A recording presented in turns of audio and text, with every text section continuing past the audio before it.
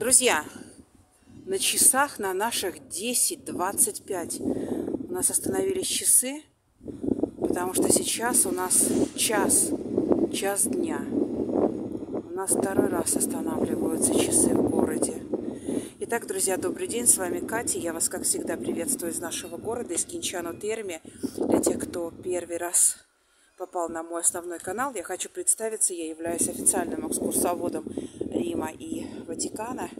Я являюсь журналистом. Ну и под сюжетом, как всегда, будет ссылка на мой второй канал. И там же будет ссылка на мой телеграм-канал. Нехорошо это, что часы остановились. Почему бы это, а? Ну ладно. Первый раз это у нас год тому назад произошло. Тоже, по-моему, когда нам объявили вот этот лох и так называемый даун. Ну, ладно. Жизнь-то продолжается, часы стоят, а жизнь продолжается. Надо идти мне сегодня в магазин. И плюс еще муж мне такую, такую задачу мне поставил передо мной, что мне придется ему сегодня покупать сигареты. Поскольку у меня нет ананпаса, то, по идее, я не могу туда войти. Но он говорит, попробуй. Женщина, когда, которая занимается продажей сигарет, у нас очень-очень непростая. Ну ладно, пошли. Вот табачный магазин. Мой муж сказал, чтобы я туда пошла, купила ему сигареты. К большому сожалению, он курит, я не курю. Меня не пустили, меня, мне не продали. Прямо в, в дверях там женщина такая, она супер покемон. Вот, и она сразу мне, ананпас. Я говорю, у меня нету. И вообще это не для меня, и вообще я не курю. Это для моего мужа. Нет, все, идите к этому вот, вот к этой штуке и покупайте через эту штуку. А я не умею этой штукой пользоваться. Я сейчас куплю, это будет что-то опять не то.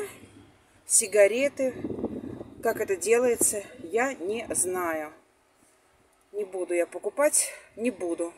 Моему мужу понадобится, пусть идет сам. Не буду.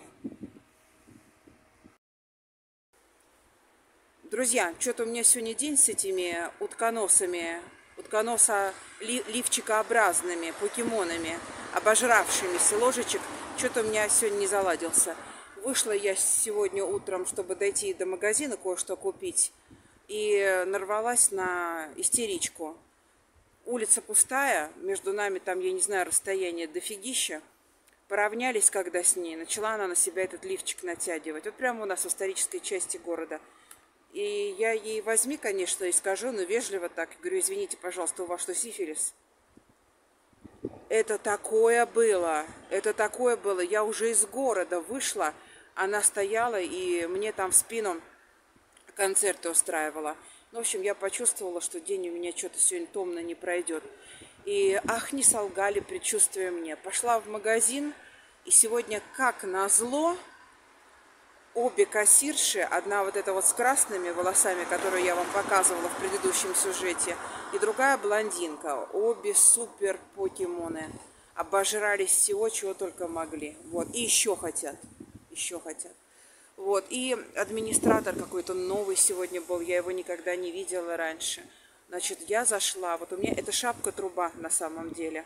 Я ее ношу, когда ветер, как повязку. Ну, я ее спустила, конечно же, изображаю из себя ковбоя. И он мне уже на входе. Это не то, это не то. Значит, лифчик надо, лифчик наденьте. Потому что он не просто сказал талисман, а он вот именно мне вот персонализировал, сказал, я, я, я говорю, а это нет, ни, никаким образом, пошла дальше. Короче говоря, они прибежали, бежали за мной, я хотела снять видео, ничего меня не получилось снять видео, потому что они клешнями так размахивали, что мама не горюй. Вот, и в результате я стояла просто молча на них смотрела, я ничего не говорила, просто смотрела. Они, ну что, начали что ей полицию вызывать? А это бесполезно, мы уже какое-то время тому назад вызывали ей. Это бесполезно все, потому что это вот такая вот категория. Значит, в результате тот, ну, там один э, вышел, э, ну, тоже он из администрации. Друзья, поменяла место, потому что ветер очень сильный дует. Ну, в общем, пока вот это с синими волосами и какой-то новый администратор, они побежали мне кого-то очень серьезного, строгого вызывать, не знаю уж кого, чтобы меня, естественно, там наказали, подошел другой администратор, которого я давно знаю, абсолютно нормальный, адекватный мужик. И он мне подтащил э, вот этот аксессуар, ну, голубого цвета. Он говорит, я тебя очень прошу, ты вот напяль, ну, сделай вид, что ты напялила. Ну, так это вот многие у нас. Вот, потому что не хочется вот этих вот разборок, потому что все на нервах, э, терки у них там в формате в пределах вот этого копа невероятно идут, потому что, оказывается, половина персонала ложечку за дедушку жрать отказывается, а эти уже обожравшиеся, вот, поэтому у них там между собой, между собойчики возникают. Но я говорю, ладно, я сделаю только вот ради тебя, вот ради тебя, потому что ты хороший, адекватный человек. Я на рожон, на принципы не иду, когда нормальный человек. И вы знаете, кстати, у меня э, а получилось так, что у меня это второй был аксессуар голубого цвета. Первый мне подарил э, полицейский муниципальный полгода тому назад, когда меня вытащили из нашего копа. Почему? Потому что тогда у, у них не стояли вот эти писюськи с полюциями на входе, а там стоял вот такой вот метр с кепкой, типа брунетты, который, значит, всем это, это дело наносил на руки. И измерял, вот тут норовил измерять, а вот не на запястье. А я отказала, сказала, я не буду это делать. Содержимое я его флакона назвала вот именно как я вам сейчас называю. Вот. И пошла дальше. И на мне тоже был тогда надет платок. И вот он мне тогда вызвал муниципальную полицию, валился муниципальный полицейский, заставил меня оставить корзину прямо посередине зала, вытащил меня на улицу, вот, и, но он оказался нормальным парнем, кстати. вот, в принципе, он со мной здоровается всегда. И когда тет а со мной разговаривал, тоже он мне тогда подарил эту хрень. Из своих сусек вытащил. И я эту хрень, я ее все время носила в кармане. Ни разу я ее потом так и, и не напялила, потому что все время ходила я в платках. Или один раз, по-моему, в Монтепульчано когда мы входили в один частный магазин, но все время вот таким вот образом у меня это было чисто символическим. Да, и все, потом я потеряла. Вот, а сегодня мне подарили вторую хрень, вот такую вот. Именно голубого цвета, а не лифчик. Что лифчик это, это, это вот, что касается лифчика, это даже вот ни за что. То есть даже об этом разговора быть не может, потому что не может быть никогда. Вот. Ну, в итоге, значит, прибегает это вот э, с кем-то еще, то есть, видимо, они не смогли дозвониться в муниципальную полицию, но кого-то она там притащила, какого-то дядьку, какого-то охранника, который на меня косо смотрел, и она отказалась меня сегодня, вот это с синими волосами, рассчитывать на кассе. Она сказала, что это дело принципа, что вот таких, как я, она рассчитывать не будет. Это с синими волосами. Я вам хочу напомнить, что она нашей чинции, которая работает в супермаркете в э, кондитерском отделе, она ее, ну, ей жизни не дает. До сих пор ей жизни не дает. Вообще, какое ты имеешь право? Я вот и администратору потом сказала, который нормальный. Я клиент. Мне кассир говорит, я тебя не буду обслуживать. На основании чего? Где такое написано? Он стоит, молчит, да, говорит, я все понимаю. А она прямо лютовала, вопила, кричала. Значит, я пошла до другую кассу, там, где блондинка. Такая же в точности, как и с синими волосами. И она так меня рассчитывала. Значит, э, а у меня вот так вот. Вот так вот это. Надо натянуть. Мне все вот это надо натянуть. Я говорю, давайте сделаем так. Вы мне сейчас быстренько рассчитаете, я уйду и все. И вы про меня забудете на сегодняшний день, до завтрашнего дня. И что мне делать? Она администратору говорит, что мне делать? Ну, тот вот, который был нормальный, а не тот, который псих. Говорит, типа, рассчитывай. В общем, она меня рассчитала. И я, знаете, сделала, взяла свою сумочку, свою сумочку.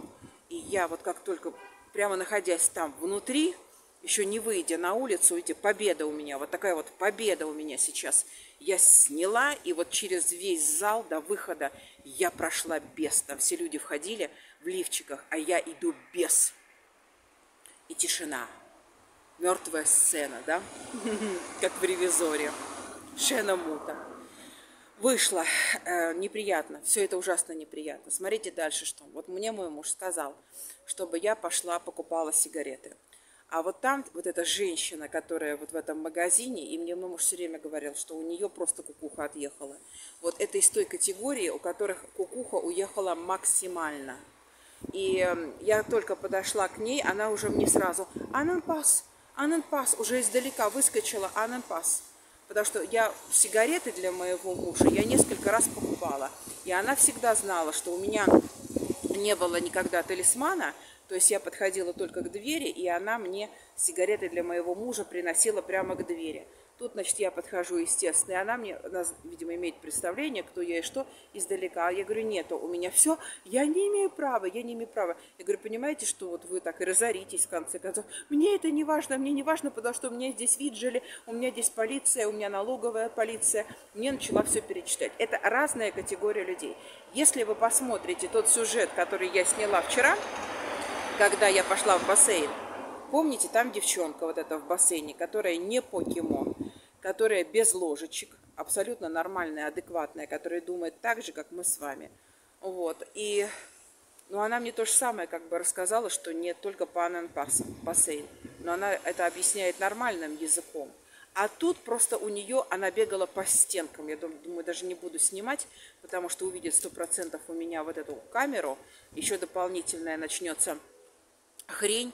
А при всем при этом, когда вот я попыталась зайти в табачный этот киоск, на улице стояла вот эта с красными волосами и нервно курила. Это, видимо, общение со мной на ней, на, на ней еще вот таким вот образом эм, сказалось. Ну вот, Значит, единственное, она к машинке, идите вот туда, вот к машинке. Хотя я не знаю, может быть, эти машинки тоже требуют ананпас. Я этой машинкой пользоваться не умею. Я подошла, не знаю, куда там засовывать деньги, поэтому я иду без сигарет. И пусть мой муж как хочет, так и делает. Мой муж, он не покемон. Нет, не покемон. Но для того, чтобы работать, у него, конечно же, этот самый ананпас есть. Он сейчас простыл немножко, он дома, у него ничего, все, все в порядке, все нормально, но даже когда ты чуть-чуть, все равно ты работать не можешь. Тампакс, он, он, он, он себе делал тампакс, тампакс у него ушел в минус, но в любом случае, значит, правила такие, поэтому он выходит погулять, конечно, но вот пойдет, погу... когда гулять, пусть он идет туда и это дело покупает. Вы знаете, можно, конечно, к этому ко всему относиться с юмором, но действительно с юмором относиться уже не хочется. Вот то, что я ощущаю сегодня, я делюсь с вами вот этими ощущениями. Первый момент. Во-первых, я чисто по Конституции могу пойти в любой магазин и так далее. Никто не имеет права со мной вот таким вот образом обращаться. То есть именно в 30-х годах прошлого столетия в Германии это все начиналось таким образом. И люди, люди, которые подвергались вот этим сегрегациям, ну да, ну ладно, я не посижу на лавочке в это время, я посижу на другой лавочке, я не пойду в магазин в это время, я пойду в другое. То есть начиналось с того, что люди просто стали это дело проглатывать. Этого проглатывать нельзя. Ни в коем случае. И в любом случае их фейсом аптейбл периодически надо. Вот. А, и второй момент, то, что меня действительно реально пугает, что народ просто вот такие вот, как она, из табачного киоска, ну, ёкараный бабай. Ну, действительно, как будто она в этом киоске реально чем-то чем-то обкурилась. Но вы бы видели, какой у нее цвет лица. Это пипец, конечно. Но я взяла ей, конечно, перед тем, как уйти, я ей сказала об этом. Вы как себя вообще ощущаете? Посмотрите на себя. Это же жуть. Это же жуть. Ну, что ты там стала мне бормотать? Ой, вот так вот. Просто действительно мои беспокойства, не только связанные со мной. Я-то в нормальном уме пребываю, а у меня забота, когда вот в этом году, в марте месяце, это потихоньку начнет уходить. Они-то как? А нам-то с ними жить, в том-то и дело. Если бы они где-то жили отдельно, а мы отдельно, тогда другой вопрос. Но в Италии то, что у многих сорвет, уже, то есть э, у них уже сорвало, но они этого не понимают, потому что режим им говорит, что с ними все в порядке, это с нами не все в порядке. Но когда выяснится, что все наоборот, ну вот так вот, друзья. Спасибо большое, что смотрите. Пишите комментарии, что вы думаете по этому поводу. Фу, мне сегодня плохое настроение, мне испортили. Спасибо большое, что смотрите. Я вас очень люблю. И увидимся в следующий раз.